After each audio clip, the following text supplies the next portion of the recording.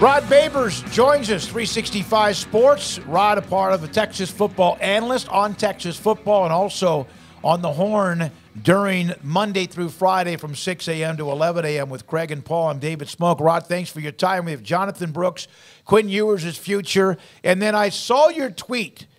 Texas, they aren't yet a four quarter team, but they're a fourth quarter team. Your thoughts about what you've seen? They've been able to move and survive and move on. Uh, uh, and again, the win on Saturday in Fort Worth against TCU.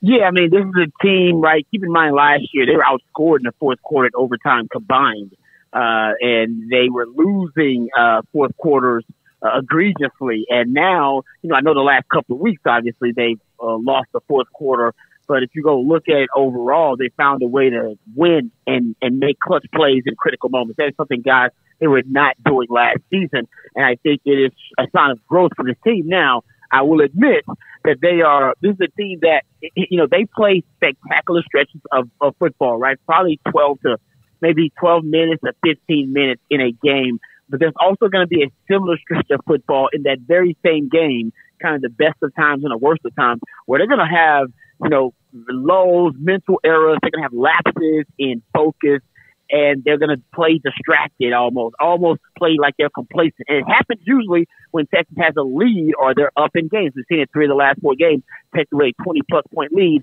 and allow their opponents to come back into the game if they've been able to win it on either a game winning goal line stand or been able to win it with a clutch play like AD Mitchell's catch. So the concern is, is that yes, they are a team that finds a way to win games in clutch moments, but they are trending toward another loss because their worst stretches of football are starting to come at the end of these games in the fourth quarter. And it's only a, you know, a matter of time before, you know, walking this tightrope between destiny and disaster is going to come back to haunt the horn.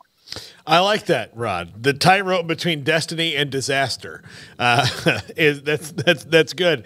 Um, you know, the, the disaster of this week is about Jonathan Brooks. I mean, he was.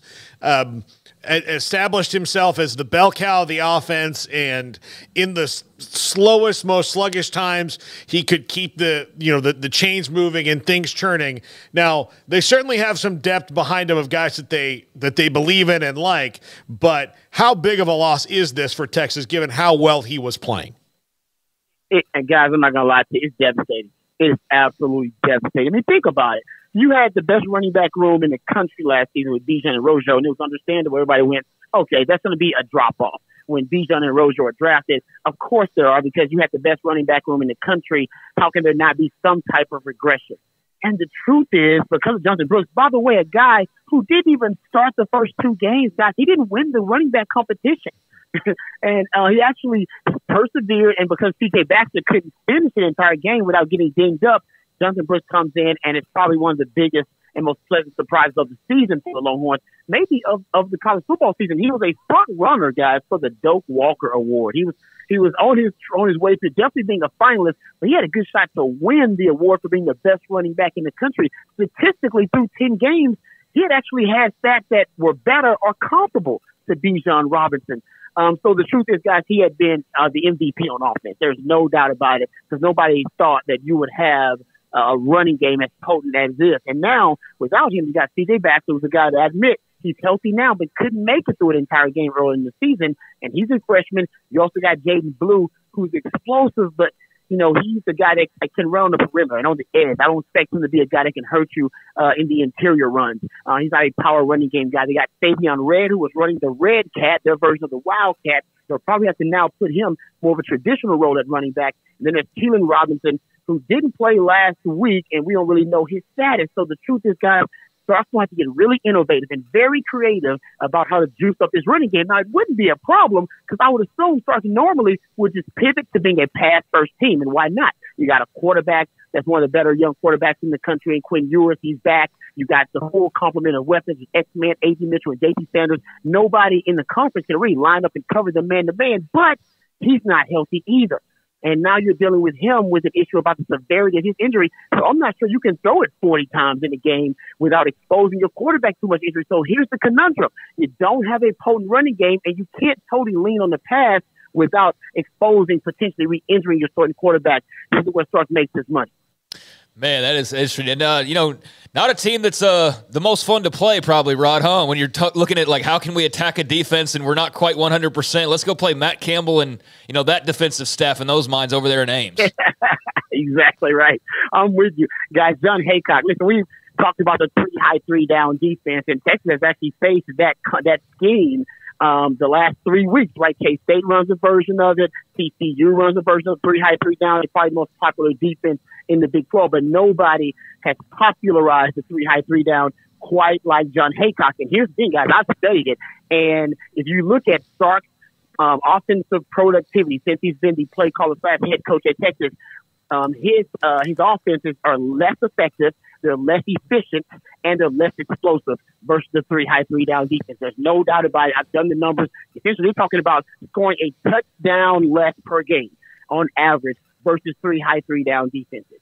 And now you're going into Ames on the road. First true road test since Alabama, guys. The truth is, all their road games have been in the state of Texas right? You just you in you were in H Town. Hell, half of that crowd was uh, Texas fans. You were in Fort Worth. About a third to probably you know a little bit more of that crowd were Longhorn fans. You had the Texas OU game. That's a neutral site. So now you got a true road test. Uh, that's a little bit concerning. Last time you were in Ames, you were embarrassed.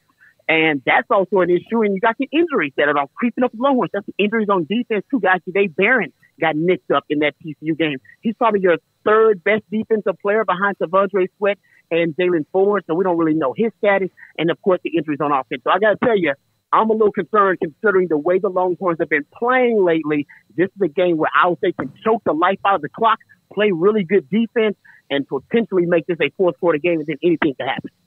Rod, uh, sticking on, on Quinn there, I mean, you saw the reports inside Texas uh, mentioning that the odds, I guess, are favoring that Quinn Ewers could come back uh, next season, or that's the way that he's leaning. And uh, we were having a conversation the other day of just uh, before we, we knew there'd be any word on, on, you know, potentially with Quinn here anytime soon, but just the number of impact underclassmen that they have. Like they could have a massive draft class, or they could have a massive bunch of guys come back next year and like a top three team to start the season in the SEC. But uh, with Quinn, um, I mean, any thoughts just on on his game this year and kind of where he fits, and just any of the conversation about that uh, that NFL aspiration?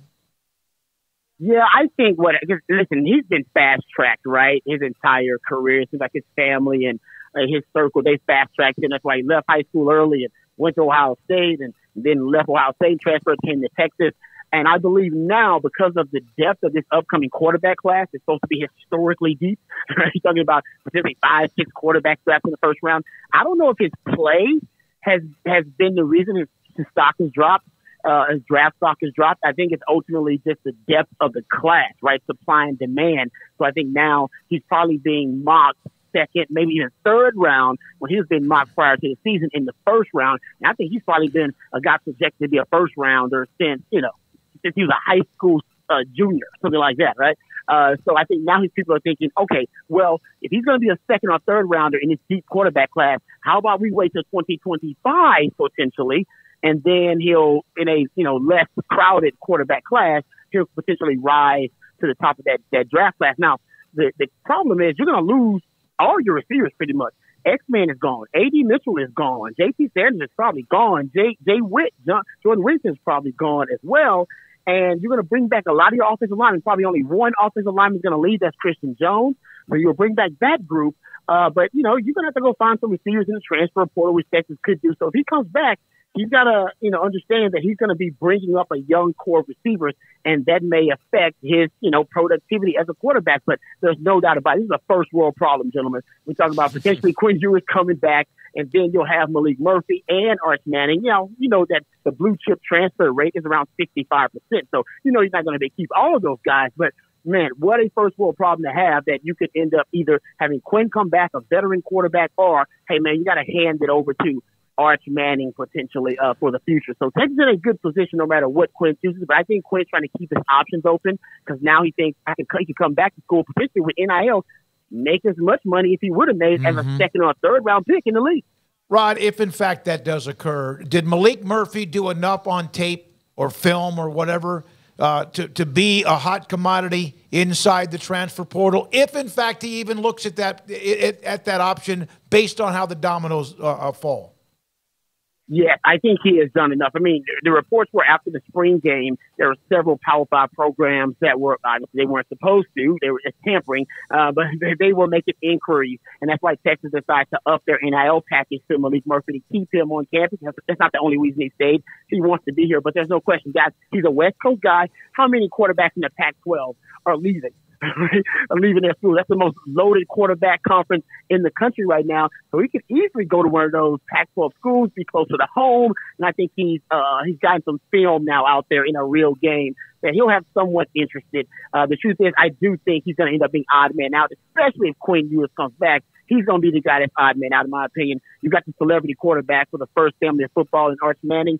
Guys, I was on campus with Chris Simms and the Major Applewhite. It's something about celebrity quarterback, guys. They usually end up on the field sooner rather than later. Y'all know that. Right, yeah, I mean, you mentioned the Pac-12. Bo Nix will be gone. Michael Penix will be gone. Caleb Williams, Williams will, will be gone.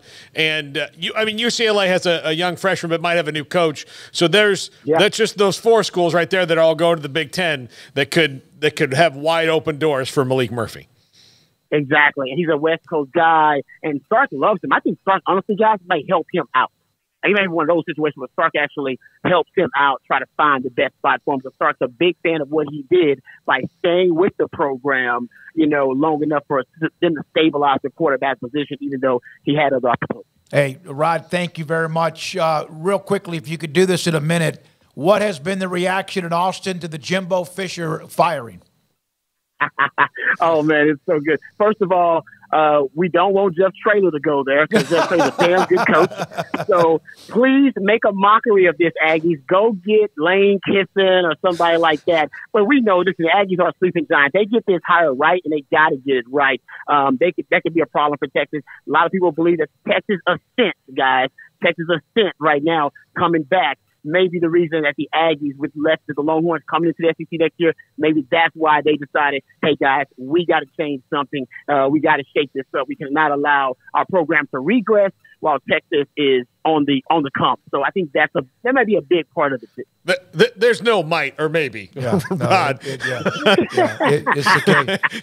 Thank you very much, Rod. Appreciate it as always. Great, great stuff from Rod Babers. Played the game at Texas. Also analyzes UT as they head to Ames for this weekend, Saturday night game, and right now atop the Big 12 at 9 and 1. Yeah, I wasn't to